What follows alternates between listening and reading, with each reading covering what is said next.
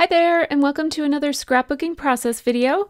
I dove into my stash for this one, and I have all of these Studio Calico papers. I really love many of the older Studio Calico papers, and I still have them in my stash. And I'm just looking for a neutral background that I can use as my background for this page. What I have picked out already is uh, this picture of my camper and this paper. It's from the Dream Big 6x6 paper pad from Fancy Pants. And I knew that I wanted to use that piece of paper uh, on a on a layout about my camper. And so I kind of had pulled out that piece of paper and also my photos.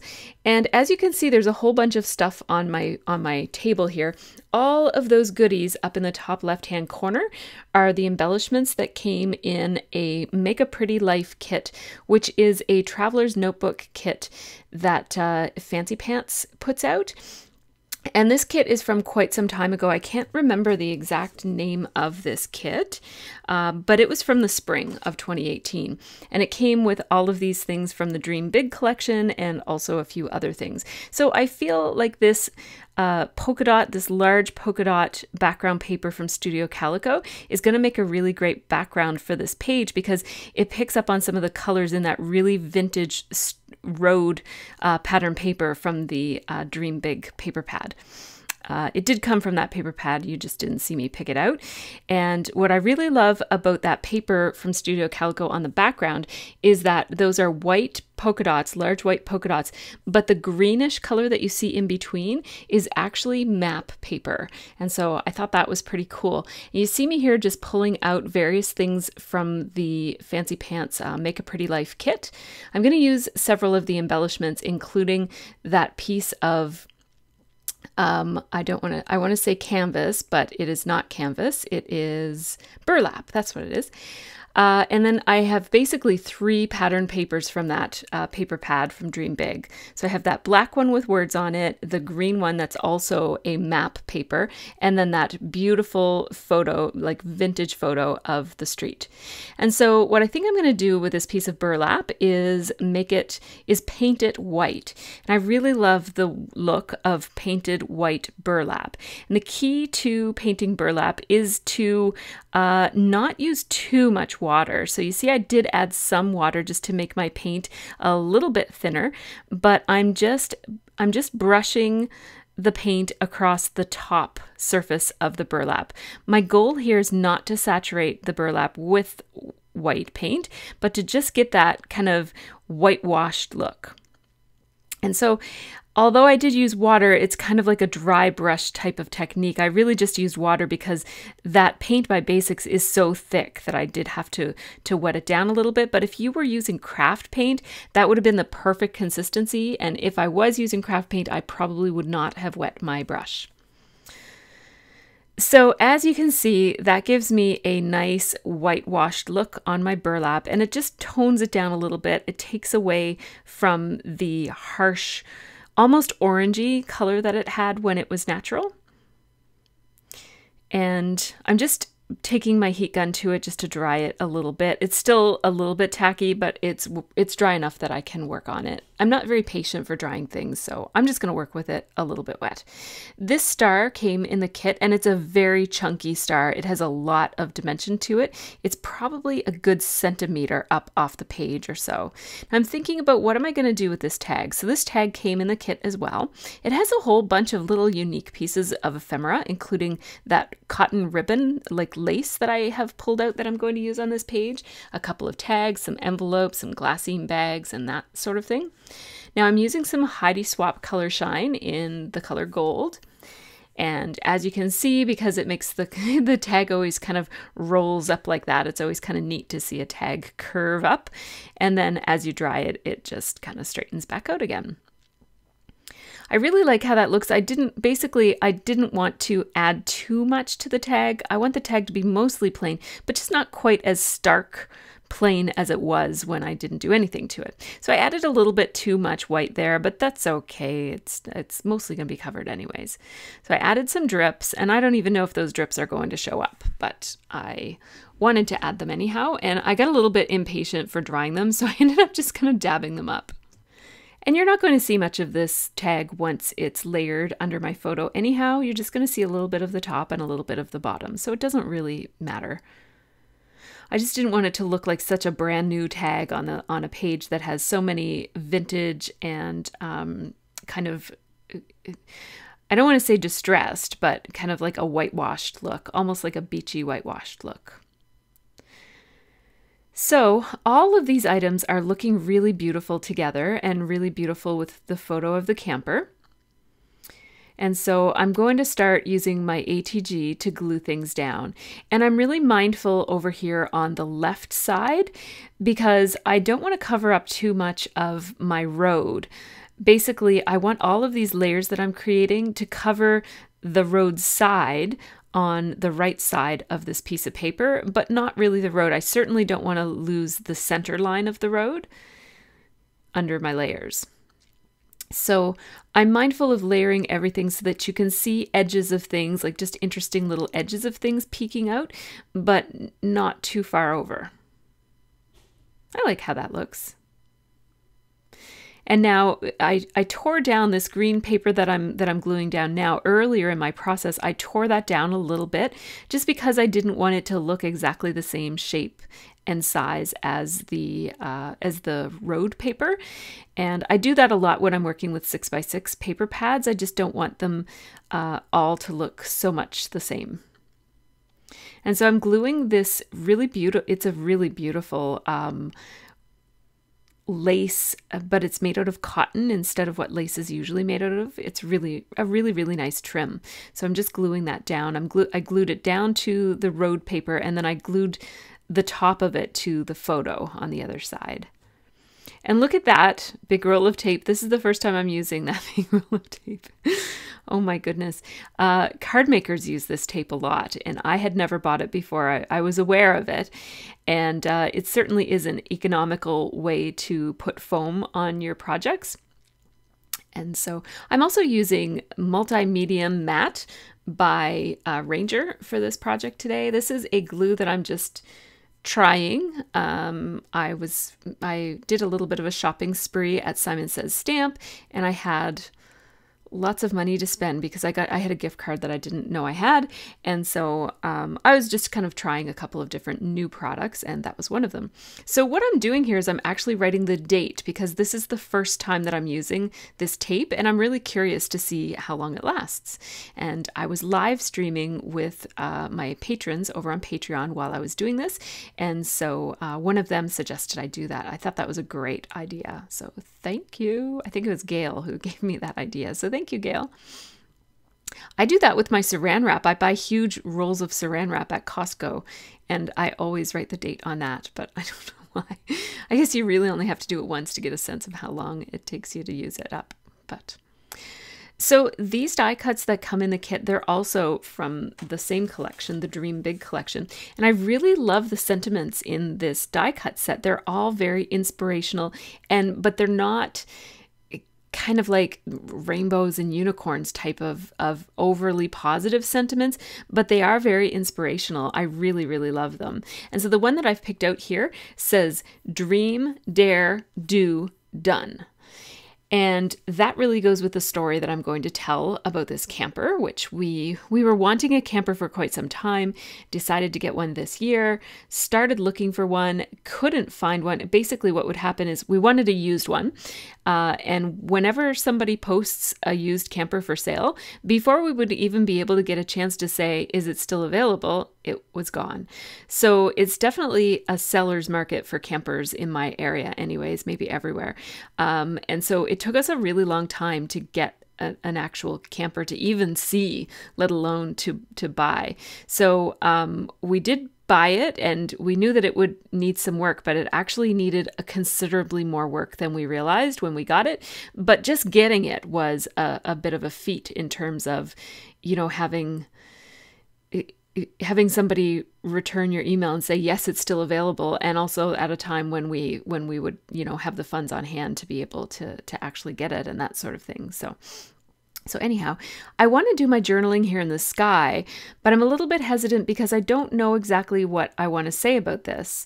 Because I do plan to scrap another page that's going to tell more about the story about how the camper needed a lot of work. So, this is more of like the acquisition of the camper layout. And then there will be another layout that talks about the renovations to the camper that needed to be done and the story behind that. And then I actually did a, we actually did go camping in it and I did a fairly lengthy four page project life spread on our first camping trip. And so there will be a series of things in my scrapbooks about, this camper. And, you, you know, we plan to have it for a long time. So this will probably be the first of many camping projects that will be uh, in my future.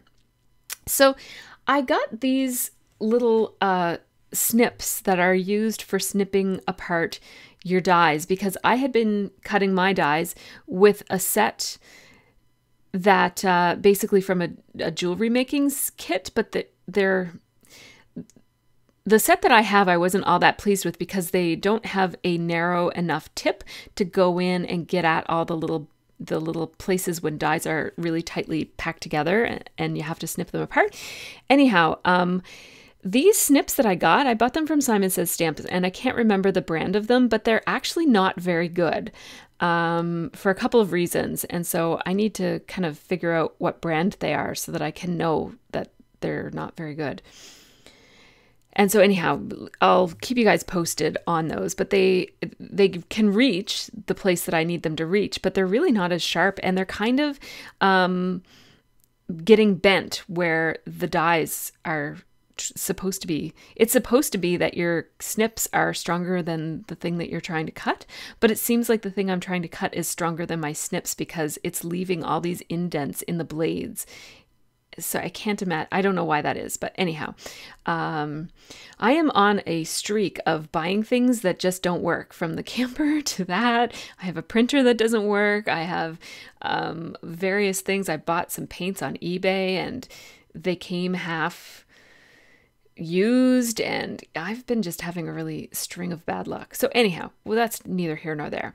I discovered these really beautiful Heidi Swapp letters in my stash and they are like a, a green acetate letter, and they're one of my favorite products ever. I have used these many times. I think that this is my third package of them. And uh, yeah, so I really thought that the Park It part of my title would look really nice in these letters just because it's so big. And that's the most unexpected part of my title. So the title is going to be Home is Where You Park It. And park it is, as I mentioned, that's the part that makes this title interesting and different than what you would expect. And so I really want the park it part of the title to be nice and big and bold. So using these letters for that would be a good idea. Now I really like to staple these letters, any acetate letters that aren't that are kind of like see-through. I always like to use either my stapler or my sewing machine because any kind of glue that you use no matter how careful you are you're going to end up seeing the glue and it just it just bugs me. It's it's okay to have the glue showing but it bugs me so i don't want to have the glue showing. So I'm using my stapler and as you can see you can staple anywhere on your page with your tiny attacher just by swinging it open and I do have a video on my channel that shows you exactly how to do that. So I will link that in the in a card right here in your top right hand corner. Now that pink tool that I'm using is a We Are Memory Keepers brad tool and it's used for pulling apart the little legs on a brad, but I use it as you see for pushing the staples down when you've stapled in the center of the page. And if you check out the video that I linked in the top right hand corner of this video, you will see that I, I'm pretty sure that I show how to use that tool along with your stapler in the staple video that I'm that I'm linking. So I just like to keep track of which letters are already missing on those packages of mixed letters just so I'm not eh, searching in vain for an A when there actually are no A's in the whole package. So that's what I was doing there, just marking off the letters. And I actually they're not alphabetical, so it was kind of tricky to do that. So I just wrote down what letters I've used from that pack. Now, I knew I wanted to use mini market stickers on this, so I'm not even really looking at my my little letter sticker collection. I'm really just focusing on the mini markets, which of which I have many.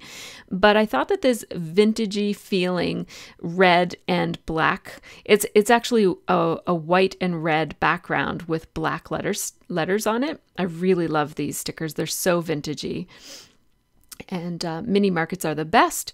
I think I only have one sheet of these, so uh, try not to hoard them. They are very, very nice on vintage pages. They look really great with sassafras like uh, papers. Which, by the way, speaking of sassafras, this background paper by Studio Calico is actually a sassafras uh, Studio Calico paper.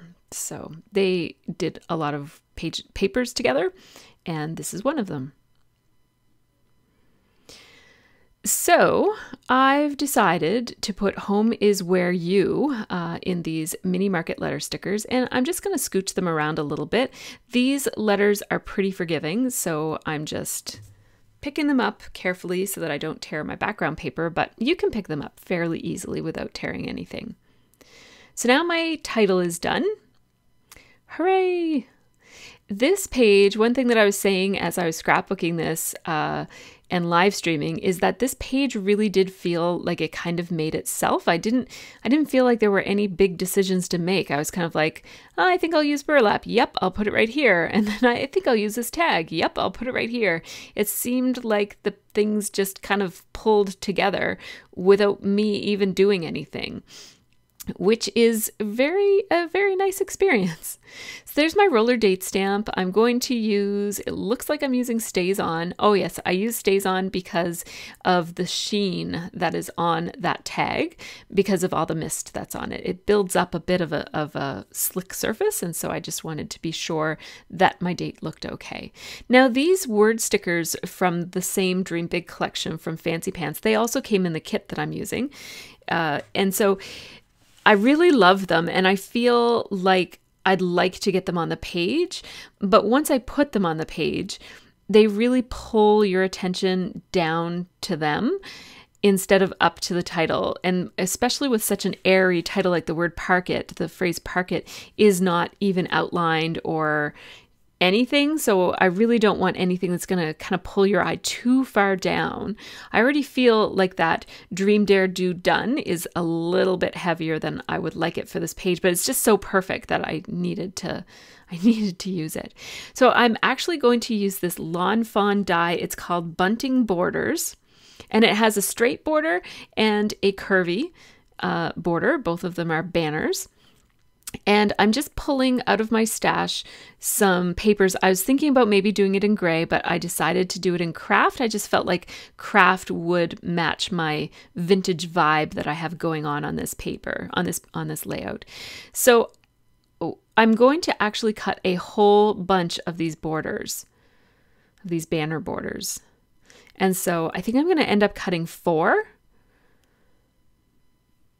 because I find that you get a really whimsical boho kind of look when you add a whole bunch of, of banners as opposed to just using one or two. And I find it's also it's a little bit easier to choose my placement when I have a whole bunch of them layered together. As I just find that I fuss over it when there's only one or two, but when there's lots, you can just kind of stack them all on there, uh, and and it's all good. So I've picked a couple of patterned papers from that pad that I'm using that came in the kit. It's again that Dream Big. I have probably said that too many times now, so I will stop that. Uh, and I've stacked my papers actually uh, so that I'm cutting two at a time, which was a suggestion of one of my patrons. And I wasn't sure that wafer thin dies would cut paper, but this, like two papers at once, but this is pretty thin paper. Like it, it's not like super thin, but it's paper, it's not cardstock. So it, uh, it cuts pretty good, two, two sheets to one with one kind of go through. And I'm doing that because uh, to save time, and the reason I, I need to save time is that you actually have to cut more than one of those sets of triangles in order to fill up one banner. So one banner has eight triangles on it, and then there are only six triangle dies that come with it. I really wish that they had just given us two more because then you could, you know, run the banner and all of the triangles that you have and you've got an embellishment. Whereas this way, you have to, like, I had to run multiple run my run the dies through my die cutter multiple times in order to fill one banner. And then since I'm trying to fill four banners, then that's a whole lot, right? So uh, here I am just gluing these pieces on, and I am using the multi-medium matte, which seems to be really good for this. I hear that it's a very strong glue, and everybody who uses it seems to be pleased with it. I feel like I've used this before in pot format, like in a little tub. I'm pretty sure they make this in a little tub because I'm pretty sure that I have one in my office at work. And I think I just use it as like a collage medium, like a like a like a matte gel. Anyhow, um I've never used it in this way, like in a small little applicator and using it for glue. So I'm really liking this. And the nice thing about it is that as opposed to, so the other two glues that I might use in this kind of a situation would be glossy accents, which I really don't use very much anymore. I find the bottle pretty frustrating. It gets clogged up pretty easily and it if you if any of it oozes out it does dry to glossy and so you do see it like you really notice it. I'm just showing that two of these little triangles actually have little cut die cuts within them. So one has a little heart die cut and one has a little star die cut. And that kind of adds a little bit of interest and whimsy to this embellishment that i'm creating uh, yeah, so I was back to the glues. So the two glues that I usually use for this kind of thing are um, Tombow Mono Multi and Glossy Accents. And I already told you why I wouldn't use Glossy Accents in this kind of a situation. But for Tombow Mono Multi, if any of it oozes out, it dry it, it stays sticky because it's one of those two-way glues that if you use it while it's wet, it's a permanent glue, but if you let it dry a little bit, it's a temporary glue.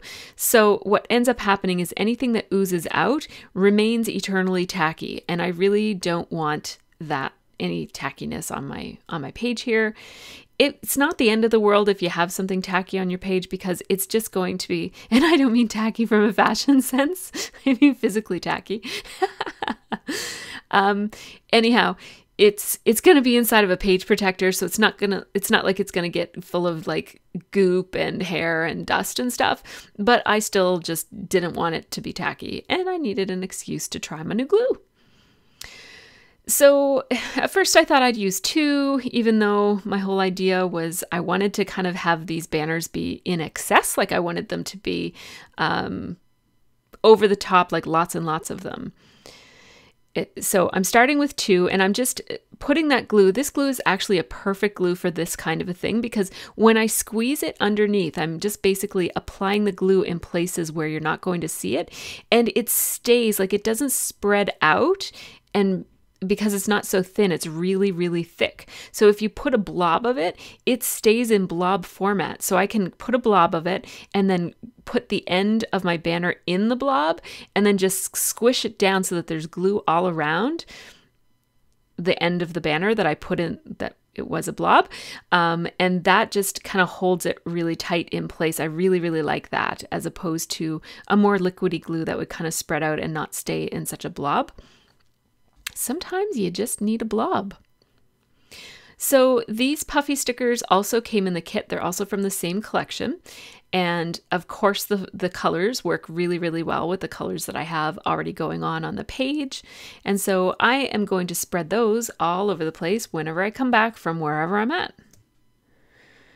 And by all over the place, I mean I'm going to put two on the right side of the title and two on the left side of the title. So not really all over the place. But uh, yeah, so at first I was going to do it like this, but then I thought, no, I think I will make it a little bit more symmetrical. Maybe I liked it better the other way. I don't know. Anyhow, it is what it is. I did it like this. And then I thought I'd also add this Love It little um, arrow puffy sticker that points towards the camper, like in the right direction. And I was thinking, I really like this trim as well that also came in the kit. And I, I would have liked to have added this. It just kind of like fills up some of that space between where the banners are and then that other piece of trim. In order to put this on now, I would have to move that Dream Dare Done Do Dream Dare Do Done. And I just, I tried to pull it up a little bit and it was going to be a headache. So I just thought, no, I'll just not use that trim. That's fine. So, remember how I said I wanted to do some journaling on that paper? Well, I decided to make my journaling be on journaling strips. And so I grabbed my typecast typewriter from We Are Memory Keepers. And uh, this is the only typewriter that I have in my scrap room these days. I do have another typewriter that's smaller, um, but I just don't have room in my new scrap room for multiple typewriters. and so this one is the prettier one. So I uh, decided to keep this one. Plus, this one has more of a capacity. Like you can do 12 by 12 on this one, and you can't on my other one. My other one is a vintage. I am keeping it, but just not in here. So I, I'm typing and I'm running into trouble where it seems like my typewriter isn't working, but it's because I totally ignored the bell that I heard that was like, oh, bell. and then ignored it and uh, didn't realize that that bell, of course, is a sign that you're at the end of your margin. And I had set up my margins funny for whatever my last project was, and that's why my typewriter wasn't working. So, what I ended up, I kind of started to type a couple of different things, but I ended up with at long last, we found our pop up camper. And I typed that just on the back of one of the pieces of pattern paper that I already had torn out of the book. As you can see, it was one of the ones I used for the triangles. I'm just using my little Fiskars trimmer here. This is a small guillotine trimmer. It's wonderful. It's new to me. I also have one by Creative Memories. They're both really great. Uh, this one is from Close to My Heart, and it's super light. It's much, much lighter than the other one. So I love keeping it on my desk because I can just really easily pick it up and it stores really nicely in a certain spot. And so that's why uh, I've been reaching for that one more lately. The creative memory one is just as good. They both work perfectly, but it's a little bit heavier weight, which sometimes you want a heavier weight, but but uh, for me, just where I make videos, I really do like the lightweight nature of the Fiskars one. I'm using my ATG, which I have to kind of use my fingers to pull the adhesive back around to the other side, like it's a little bit wider than it needs to be for these strips, but I didn't want to use liquid glue, so I just used my ATG. And I like how those look there.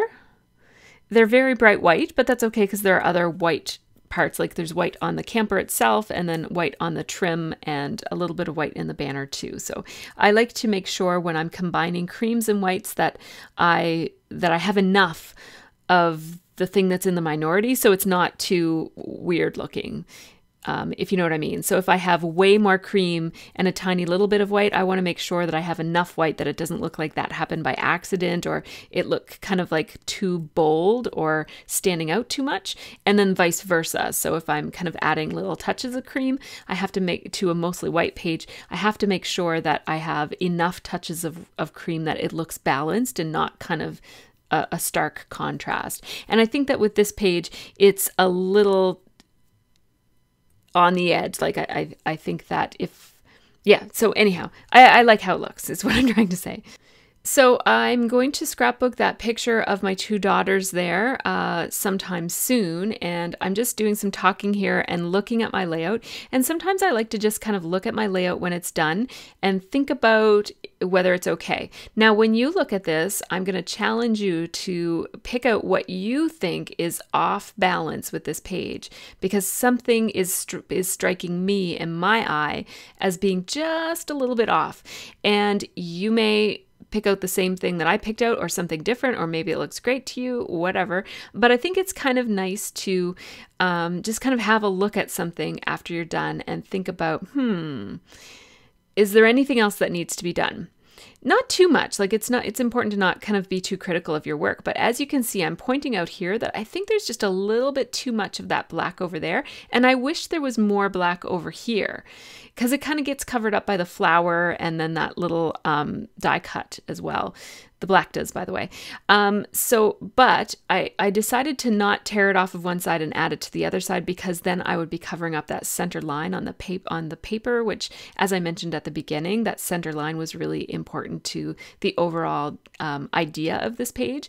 I don't usually have an idea of how my pages are going to go. So this was a, a unique one. I knew I wanted to use this piece of paper and I knew I wanted to have some layers over to the side of the center line of the road. But the rest of it all just kind of came together very organically as I went. And I have to say, it was one of the more fun layouts. I always have fun when I'm scrapbooking, but this one was one of the more fun pages that I've made in quite a long time. So it looks like I do this again. I must have forgotten that I already did it, or maybe, I don't know, I didn't show the things I meant to show. Anyhow, there's the title. I love how it looks stapled onto the background like that. And uh, those banners at the bottom, I adore those. I they're they are a little bit of work, but they're so worth it to have those beautiful banners at the bottom of the page. I just love it. So here are some photos of this page. I will be putting it into a page protector and stacking it up with the other ones because I don't have an album to put my pages in yet. Oh, I need to spend some money on some albums, I think. Anyhow, uh, let me know what you think of this page. It does have a lot of dimension because of that giant star. It's actually not that big when you look at it head on, but it, it has quite a lot of dimension to it. And one thing I forgot to mention is that I added that paper flower above it. Uh, the single paper flower, I think you might see it in a second here. Um, I added that because I thought I'd take advantage of the fact that there's so much there it is. There's so much dimension from that star that I thought anything I put beside the star is definitely not going to get crushed because the star will kind of hold up the page protector. So I put that paper flower there, just that single one, and I, I think it looks really, really neat right there. So thanks so much for watching. Check out any of these other videos. Leave me a comment and have a really great scrappy week.